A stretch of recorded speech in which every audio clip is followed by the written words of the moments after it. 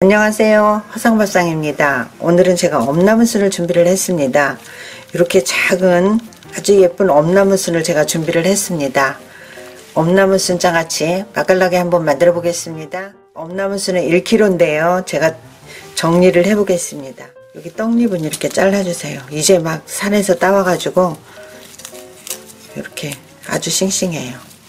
여기 나무가 있으면 조금 이렇게 잘라내세요. 이렇게 정리를 해주시고 이렇게 앙증맞은 엄나무순도 있어요. 요거는 잘릴 것도 없이 이렇게 정리를 하시면 됩니다.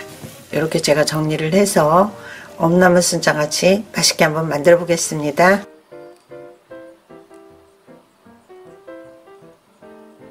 물이 팔팔 끓을 때 4년 된 굵은 소금을 한 큰술 넣어줍니다. 정리한 엄나무순을 넣어주세요. 이렇게 한번 뒤집어 주시고 아주 살짝만 이렇게 뒤집어서 파랗다 할때 불을 꺼주시고 찬물에 헹굼을 해줍니다. 그 차가운 물에 열기를 빼주세요. 세 번 정도 헹굼을 하셔서 물 빠짐을 해줍니다. 한 10분만 이렇게 물에 담가 놓으세요. 싹에는 약간의 독소가 있으니까 독소를 10분 정도 빼주신 다음에 손으로 한번 꽉 짜주세요. 수분을. 이렇게 짜주시면 됩니다. 채반에 이렇게 넣어주세요. 이렇게 털어서 널어줍니다. 꼬들꼬들 할 때까지 하루 정도 이렇게 널어주세요. 꼬들꼬들하면 한 번씩 이렇게 뒤집어 주세요. 들어가는 양념은 개복숭아청 한 컵에 꾸지뽕 청 반 컵을 살짝 조림을 한 다음에 제가 양념 무침 해, 해주겠습니다. 개복숭아청 한 컵을 넣어주세요. 꾸지뽕청 반 컵을 넣어줍니다 쌀 조청 한 큰술을 넣어주세요.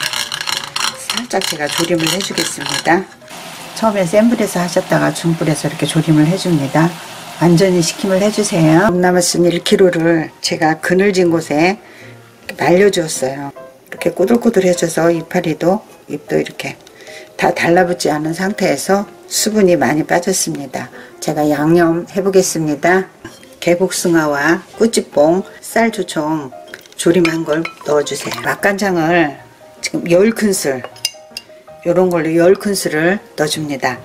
맛간장은 집집마다 그 맛의 농도가 다르니까 조정을 하셔 하시면 됩니다. 저도 단맛이 있고 그렇게 짜지 않습니다. 맛간장 10큰술 넣어주세요. 집에서 담은 고추장 2큰술 넣어주세요. 큼직하게 넣어주시면 돼요. 집에서 담은 고추장에 너무 좀 맵더라고요 덜 매운 시판 고추장 2큰술 넣어줍니다. 반반 넣어주세요. 고춧가루 2큰술 들어갑니다. 다진 마늘 1큰술 넣어주세요. 양념을 풀어주세요. 이렇게 하셔서 간을 한번 보세요. 고추장 한 큰술씩 더 넣겠습니다. 고추장에 집에서 담은 오래된 제가 한 6년 된 고추장입니다. 3큰술 시판 약간 달콤한 고추장 3큰술 이렇게 넣습니다. 고추장 짠 뒤에 맛간장 그 짠 농도에 따라서 가감을 하시면 됩니다. 고추장을 주로 많이 넣으시면 됩니다. 제가 양념 무침 해보겠습니다.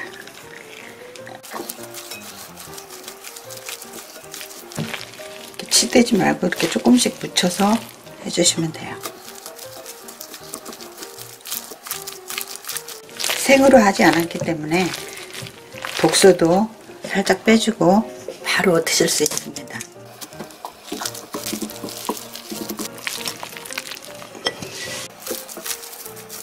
(1kg) 데쳐서 말려서 하시면 이 정도밖에 안 돼요. 바로 냉장고 넣어놓고 드시면 됩니다. 엄나무 순 장아찌 완성이 됐는데요. 바로 냉장고에 넣어놓고 조금씩 꺼내서 이렇게 드시면 됩니다 제가 예쁘게 세팅을 해 보겠습니다. 엄나무순 고추장장아찌 마무리하였습니다. 엄나무순 효능을 알아봤는데요. 감기는 개성하고 당뇨 개선 중풍 예방에 아주 좋다고 합니다. 화상밥상 다녀가실 때는 좋아요 구독 알람 꼭 부탁드립니다. 시청해 주셔서 감사합니다. 행복하시고 건강하세요. 꼬들꼬들하고 수분 약간 있게 제가 건조를 해서 장아찌를 담았더니 줄기 쪽은 오독오독하고 잎 쪽은 약간 찔깃찔깃하면서 아주 맛이 좋습니다. 엄나무순 고추장 장아찌 맛깔나게 한번 준비해 보세요.